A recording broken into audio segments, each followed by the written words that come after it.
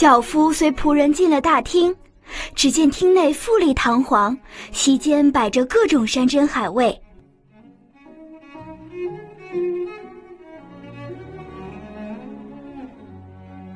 席上坐着的似乎都是达官贵人，坐在首席上的一位是一位须眉皆白的老人，容貌清曲，举止端庄严肃，一望便知是个养尊处优的享福人。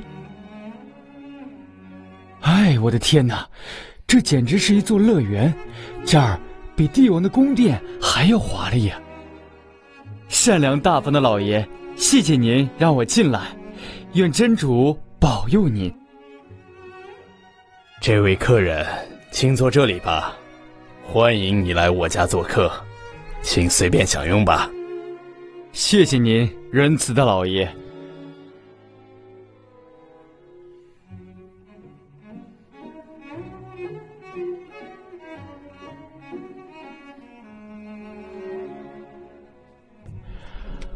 啊，指天发誓。我从来没吃过这么好吃的东西呀，多谢您的款待。哈，你喜欢吃就好，愿你事事如意，大吉大利。多谢您的款待。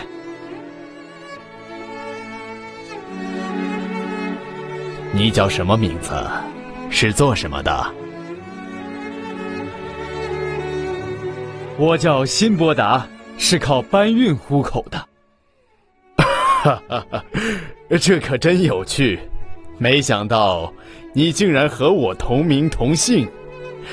我是个航海家，也叫辛伯达。啊，真的吗？啊，能和您同名同姓，真是在下的荣幸。哈，这或许就是我们的缘分吧。我听见你在门口吟诗，于是。就让仆人请你进来了。如果可以的话，我希望再听一遍你吟的那首诗。航海家老爷，我是因为疲劳、劳苦、穷困，这才寡廉鲜耻、胡言乱语。您千万别跟我一般见识，求您原谅、饶恕我，别把那些话放在心上吧。现在你成为我的弟兄手足了。不必害羞，尽管吟吧。你在门前吟的那首诗，我听了倒觉得十分有趣呢。啊，既然您想听，那我就吟唱给您，请您不要笑话我才是。人世间有多少可怜人，没有立足的地方，只能寄人篱下，偷享余荫。老天掌握着人们的命运，他们有的舒适清闲，有的享乐幸运，有的像我一样终日劳碌卑贱。教父，你要知道，我曾经有段离奇古怪的经历。是什么经历呢？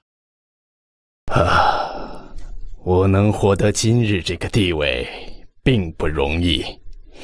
因为我今天的幸福生活是从千辛万难、惊险困苦的奋斗中得来的。我在航海旅行中每次遭遇到的危险都是惊心动魄，别人想象不到的。总而言之，一切都是生前注定了的。生前注定的事是无法逃避的。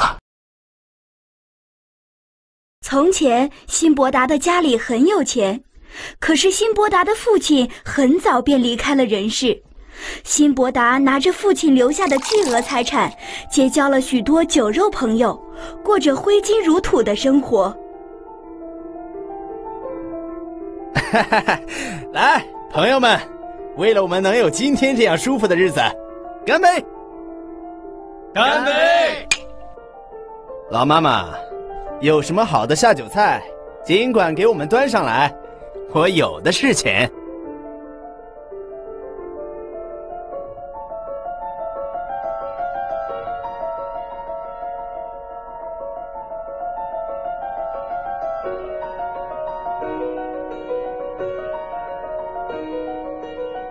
哇，不愧是大富豪的儿子！是啊，是啊呀，出手就是阔绰呀！是啊。哼，这算什么？这一袋金币对我们家来说只是九牛一毛。等到后来，辛伯达恍然觉悟，却为时已晚。他发现自己的情况早已今非昔比。这可是有钱人来的地方，辛伯达。既然你现在没钱了，就自觉一点，赶紧走吧。就是一个穷小子也想进来玩乐，你当这是什么地方？这里可不是救济所。枉我昔日多次款待你们，你们现在竟然如此对我！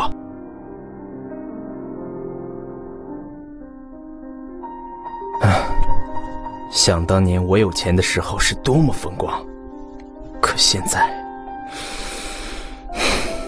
我陷于绝境，还不如死了的好。不，我不能死，更不能颓废下去。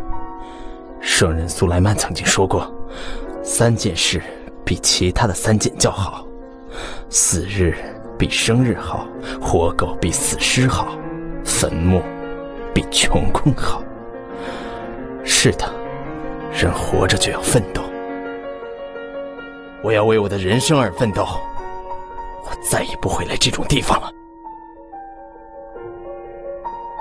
辛伯达振作起来了，他将剩余的家具、房产全部拍卖后，便拿着获得的三千金币到远方去经营生意。他和其他的商人一起乘船出发，有一天路过一个小岛。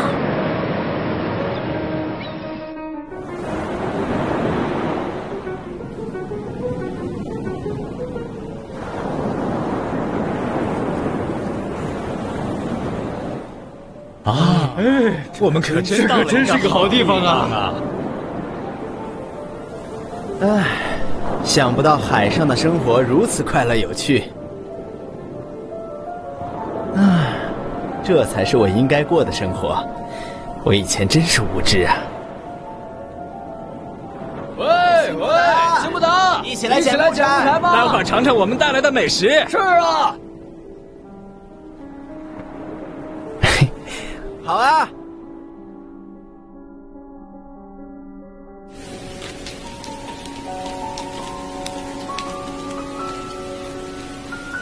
呵，他们这简直就是在免费旅游嘛，一点不像经商的样子。大法师，你很羡慕他们呀？哪有，我只是担心他们的安全而已。在荒岛上随便生活很容易出事的。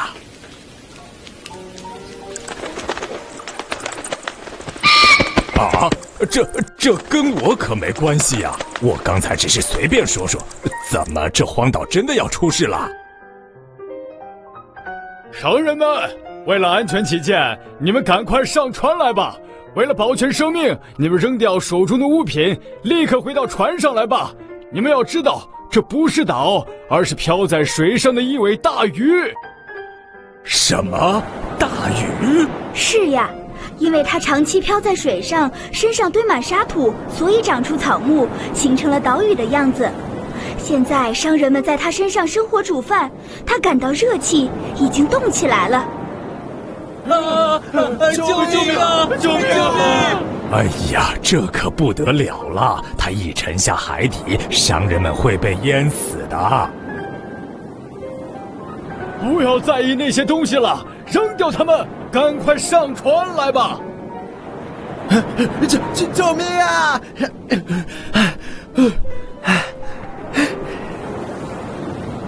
船长，船长，等等我呀！这下我肯定要葬身鱼腹了。在这样的情况下，辛伯达在海中任凭风吹浪打，整整漂流了一天一夜。那么，辛伯达如何才能获救呢？他还能回到家乡吗？更多离奇故事在下一集等待着你。